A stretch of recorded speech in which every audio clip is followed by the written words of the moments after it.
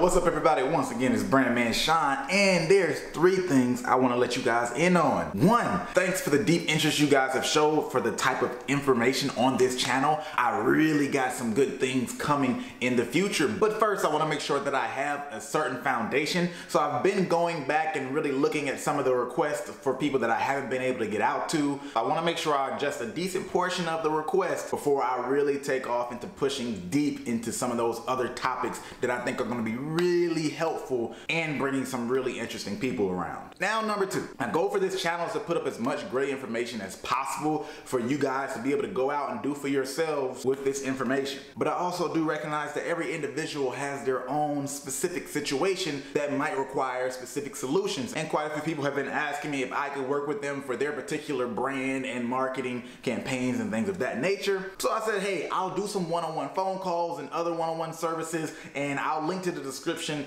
below what I'll be doing and maybe put up a pop-up somewhere. But I'm not promising to do this for any more than a month for right now. Right now, I'm just gonna try it out for a month, see how I like it. Because again, I wanna put as much information up for people to do for themselves, but I do also recognize that everybody has their own obstacles and everybody's in a different place. Which brings me to number three.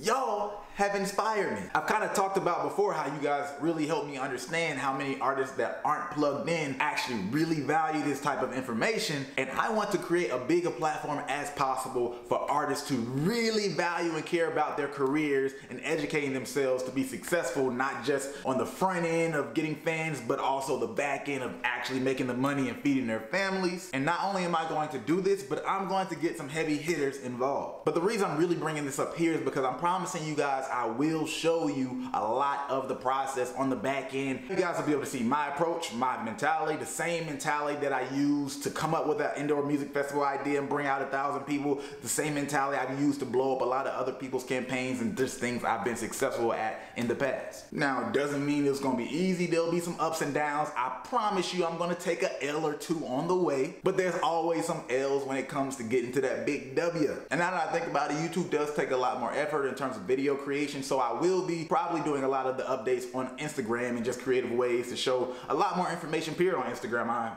actually need to be more active on it. Shoot, I'm saying it here. I'm about to be more active on Instagram and start showing you guys some interesting things there too now that I think about this, what's really cool is as I go throughout this process and y'all see my approach to things, not only could y'all adopt some things that you like for yourselves, but maybe you'll be able to comment and be like, hey Sean, have you thought about this? So now it's just more people helping me get to my goals. And that's what I hope you guys are always doing for each other in the comments. I have seen quite a few people do that. I appreciate that. That's dope because it's really about that community and trying to get as many people to grind and get to the top in this game. Anyway, that's it. Y'all know what to do. Hit that subscribe button.